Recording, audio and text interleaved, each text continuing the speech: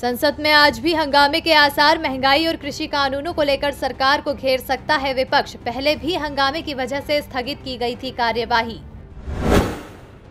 Petrol, diesel की कीमतों को लेकर देश भर में हल्ला बोल, आज मोर्चा खोलेंगे किसान। तेल की कीमतों पर आज अन्नदाता करेंगे प्रदर्शन। असम विधानसभा चुनाव के लिए बीजेपी ने झोंकी ताकत, आज असम की राजधानी गुवाहाटी में सभा को संबोधित करेंगे गृह मंत्री अमित शाह। मध्य प्रदेश में किसान भरेंगे हुंकार। आज जबलपुर में होगी किसानों की महापंचायत रैली में बड़ी संख्या में शामिल होंगे किसान। यूपी पंचायत चुनाव के लिए बीजेपी ने कसी कमर। आज लखनऊ में होगी बीजेपी की प्रदेश कार्य समिति की बैठक। राजनाथ सिंह और मुख्यमंत्री योगी आदित्यनाथ होंगे शामिल।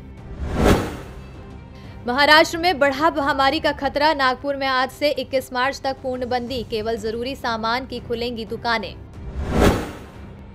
यमुना एक्सप्रेस वे पर फास्टैग के लिए आज होगा एमओयू 108 करोड़ रुपए का वर्क ऑर्डर जारी। देश भर के सभी राष्ट्रीय राजमार्गों पर लागू हो चुका है फास्टैग। बैंकों ने किया दो दिवसीय हड़ताल का ऐलान। United forum of bank unions के बैनर तले होगी हड़ताल। देश के कई बैंकों के निजीकरण के प्रस्ताव का विरोध। दिल्ली में दाखिले की दौड़ जारी। प्राइवेट स्कूल आज जारी करेंगे। बच्चों के नंबर, पहली मेरिट लिस्ट 20 मार्च को होगी जारी।